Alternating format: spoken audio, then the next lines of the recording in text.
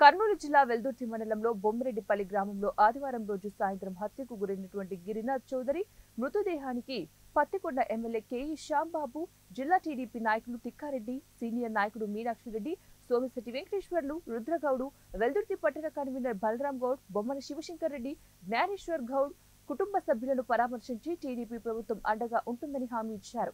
జరగబోయే రోజుల్లో ఇలాంటి సంఘటన మరొకటి జరగకూడదని కుటుంబ సభ్యులు తెలిపారు. మృతుడికి భార్య భార్గవి ఒక కుమారుడు ఒక కుమార్తె ఉన్నారు.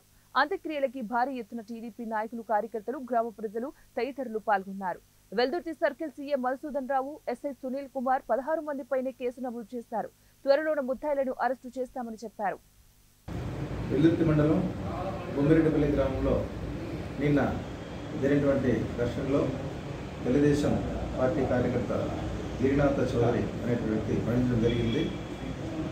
వైసీపీకి చెందినటువంటి సూదేపల్లి రమేష్ మరియు కొంతమంది కలిసి అతన్ని గొడవలతో కొట్టడం వల్ల అతని తల మీద తీవ్ర రక్తగాయంతో ఆయన చనిపోయారు. అలాగే అతని తమ్ముడు కళ్యాణ్ చౌదరి కూడా గాయాలైనట్టు అతను తెలుస్తుంది అతను ఇప్పుడు ఆసుపత్రిలో చికిత్స పొందుతూ ఉన్నాడు. ఆ గ్రామంలో ఎస్పీ గారి ఉత్తర్వు మేరకు పూర్తి స్థాయి బందోబస్తు పెట్టడం జరుగుతూ ఉంది. త్వరలోనే ఉదయం కూడా అరెస్ట్ చేసేసి మేము శాంతి భద్రతను పూర్తిగా కాపాడుతాము. సో మండలంలో ఉన్నటువంటి ప్రజలు